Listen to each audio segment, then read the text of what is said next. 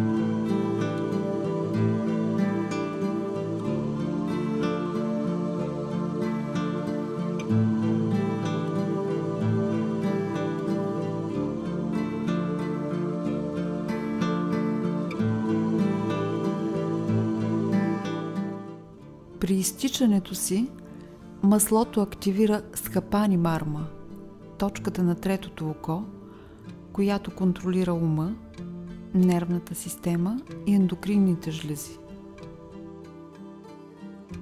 Този специален вид процедура се използва при болести на нервната система и като антистресова терапия. Успокоява ума и нервите, подобрява съня и има антидепресивно действие. thank you